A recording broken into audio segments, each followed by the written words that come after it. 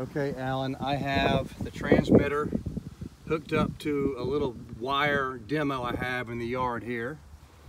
I've got the red connected to the tracer wire and I've got the black grounded in the ground.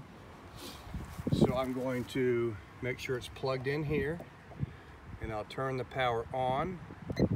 First thing we're gonna see is this going to give us a symbol in the lower left corner, meaning ohms, and it's telling I've got 10K resistance, which is, which is high.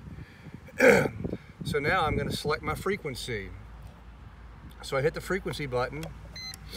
That's 200K, and I get a signal strength of 20. That's all.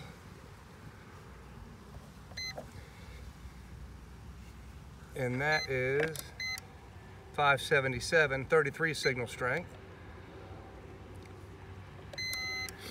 1K is 37 signal strength. 8K is 45, that's Billy's favorite frequency.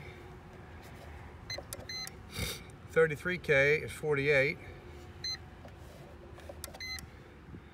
82 is 44. 200K, then we're back to 25 all frequencies. 577. 1K was 37.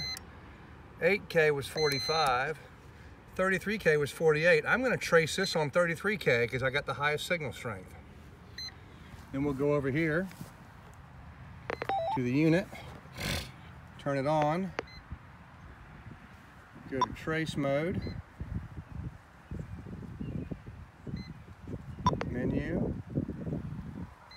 cable pipe. And then I got to get my frequency.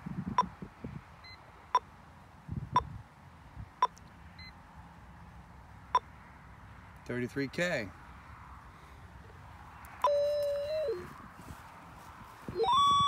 There it is. Gain it down.